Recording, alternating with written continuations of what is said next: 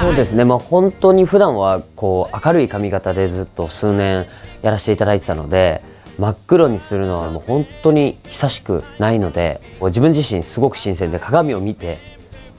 本当にフランキー・バリーになったような気持ちで臨むことができるなと思っております。すごくポップソングで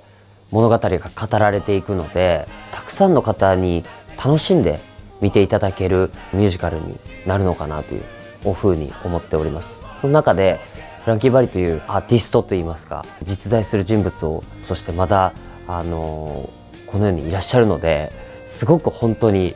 こう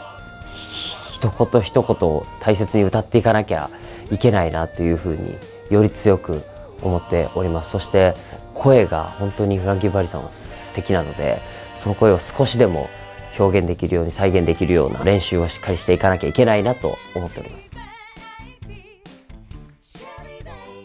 プレッシャーがすごいです。やっぱり日本の皆様はフランキー・バリといえば中川さんアッキーさんというイメージがある中でアッキーさんが作り上げてきたこの日本版フランキー・バリをそうですねそのイメージを崩すことなくかつ自分の色そしてあの自分なりのフランキーっていうのを目指していかなきゃいけないんだなと思うとすごくすごくプレッシャーですね。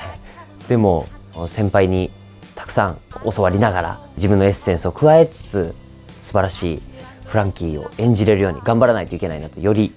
思えます。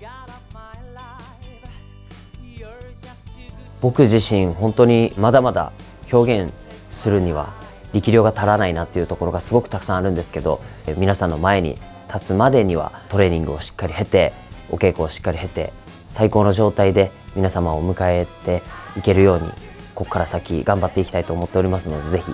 あの楽しみにしててください。